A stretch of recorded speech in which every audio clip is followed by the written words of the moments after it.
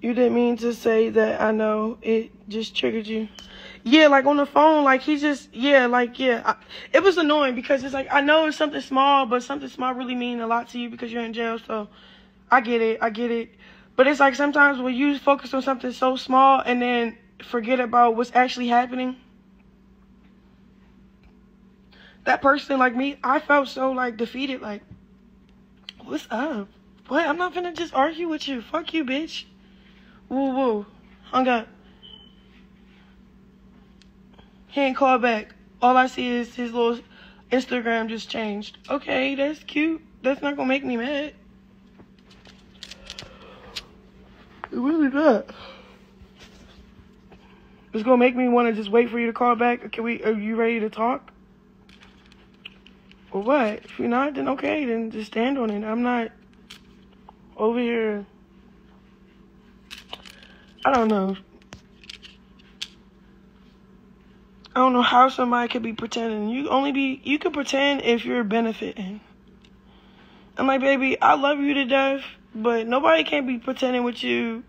And I'm not even benefiting from the situation you are. Your bills is getting paid. You got somebody to hold you down, all type of shit. And then it's the person you actually fuck with. Like, yeah, your little flings or whoever you be in, in, intertwined in, you really don't actually really fuck with them, but whatever, you know what I'm saying? Niggas got egos. Niggas have to go through shit to know that. Boom, God took what you actually really want. You had right in your face, and all of a sudden you wanted me with you. And it's not because, oh, you locked up.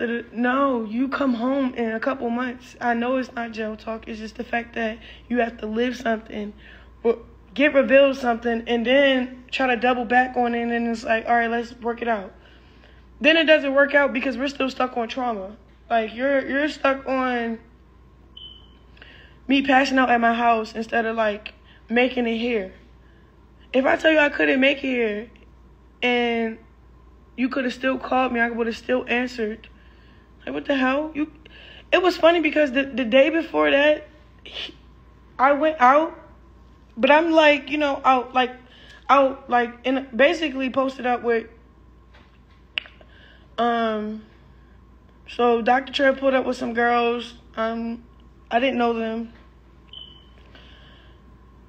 Uh, I was like, all right, bet we should just go out or whatever. We never really went out. Like we were just we went to the liquor store, we drank something, shit. Um, we we we we went to this one place, but I don't know. I just wasn't in the mood to really just be outside for her. I really just wanted to get drunk. So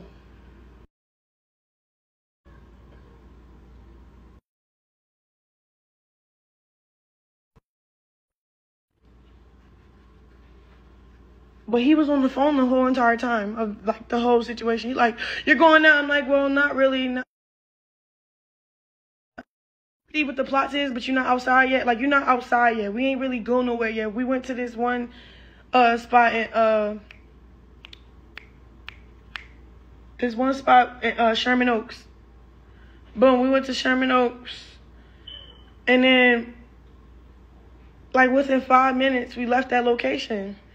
They didn't have liquor that I wanted.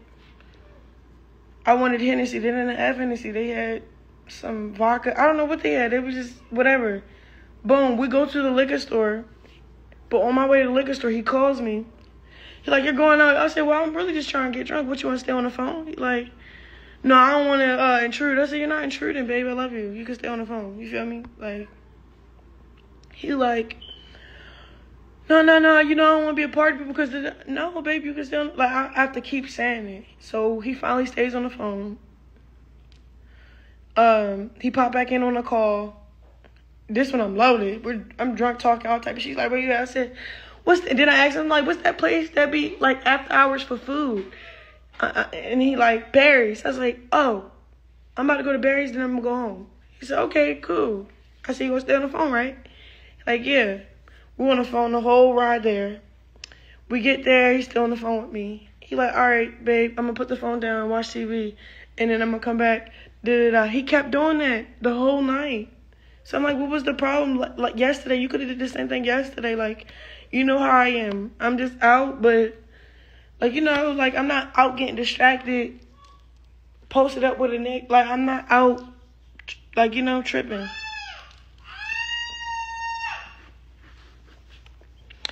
Yeah, I'm explaining myself because I really care for him. And, you know,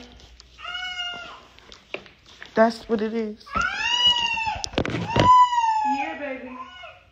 What you yelling at? What you yelling at? Huh? Huh? What you yelling at? Oh, you think so funny? mm-hmm.